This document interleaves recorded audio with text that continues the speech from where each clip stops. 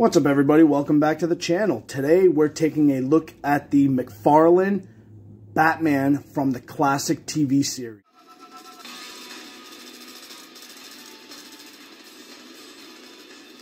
Alright guys, as you can see, this is the Batman from Wave 2 of McFarlane. Much like the Joker, all they really did was give him the swim trunks.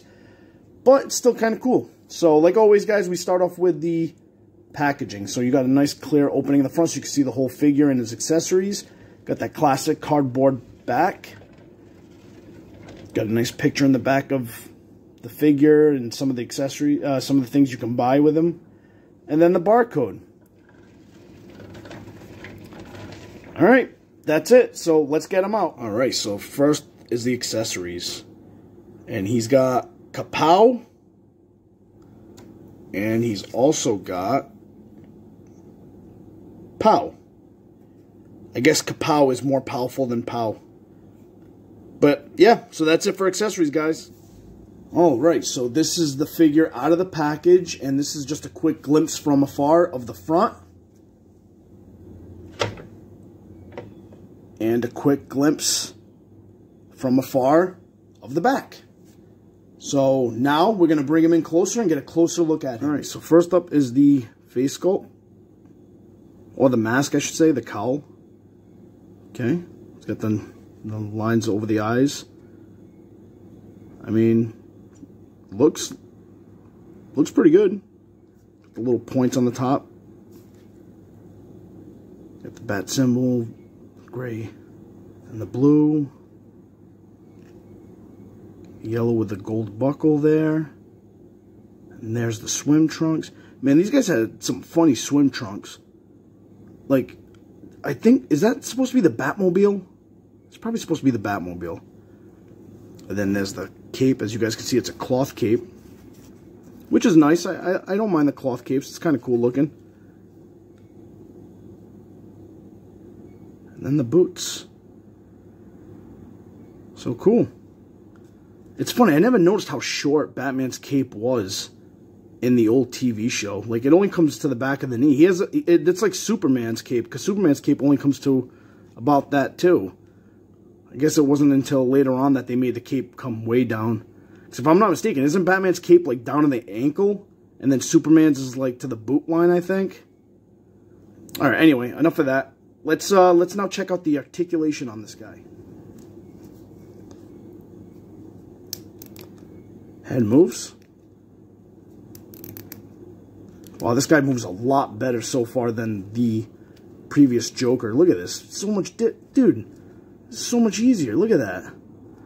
Did you, if you guys haven't seen my other video of the Joker in the swim trunks, go check it out because it is so much, I struggle with that guy for the articulation on him. I don't know what was going on, but look how smoothly that moves. Single joint elbows, and the wrist Oh, not the wrist, I'm sorry, the, the whole glove turns. Go. Same thing on the other side. Yeah, man, this guy moves so much smoother. Like, I don't know why the Joker gave me so much trouble. The, there we go, twists, twists, and legs. Oh, a little stiff on the hips, but there you go. And then, will you go back? No, you will not. Yes, yes, he will. Yes, he will. There we go. There we go.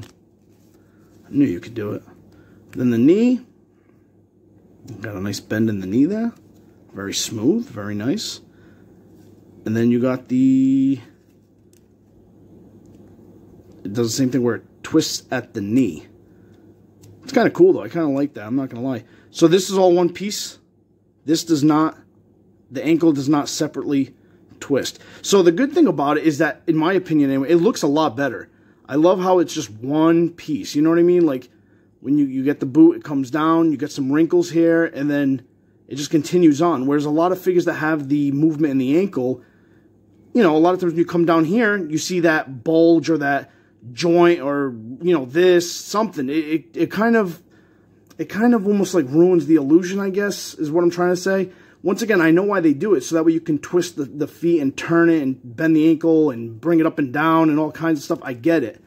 But I'm just saying, based on like just how it looks, in my opinion, this looks much, much nicer on the eyes. Where it's just one piece like that. I like that. I really like how it's just one piece. But once again, if you're into figure photography or you're the kind of person that poses your guys, that that would be very bad for you because all you can really do with Batman is twist, you know, the whole entire front, and now you got this. So that's kind of ugly in its own right. So I get it. Me, though, I'm most likely going to keep him just standing straight up museum style. So having the foot like that is way more appealing to my eyes as opposed to having like the, the you know the joints all here ruining it for me. But just a minor thing. But alright guys, that's the uh it's just a quick little video. This thing I, I know he's been out for a while. Just wanted to give you my thought. Oh jeez, it looks like his arm's broken. Let's fix that a little bit. What in the heck is going on here? Okay, let's bring that arm back in. There we go. All right, so yeah, I just wanted to give you guys my thoughts on it. Like I said, I know this has been out for a while, but you know what? I kind of I kind of do things on my own pace. You know, I don't always rush out to show like you know get the newest and greatest. I kind of do things. I kind of like doing things like later on after the hype or the opinions kind of fade.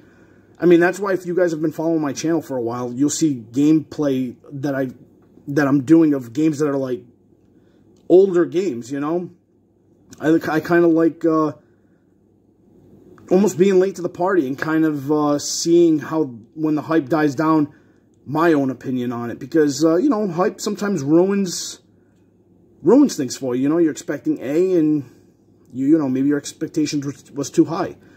But, um, yeah, so, I mean, I've seen this guy a few times in the store. I, I didn't bother picking him up until now. I picked him up along with the Joker. Uh, they were both on sale for like $12 or $12.50 as opposed to the 18 19 $20 price point. Um, my thoughts on him, I mean, he looks exactly like the Batman. It, the only difference is the trunks. So, that's my thoughts anyway. I mean, you know what? Do I I think I have the Batman here. Hold on, hold on. Hold on. I do actually have the Batman. So there you go. You guys can see for yourselves. You know what I mean? Is it the same? I mean, it looks the same to me. Looks the exact same to me. I don't see really any difference. And once again, he put this one right in wave 2. I don't know why he didn't wait till at least wave 3 to do it. Maybe the blue's a little lighter? Is No, see, that's just the lighting.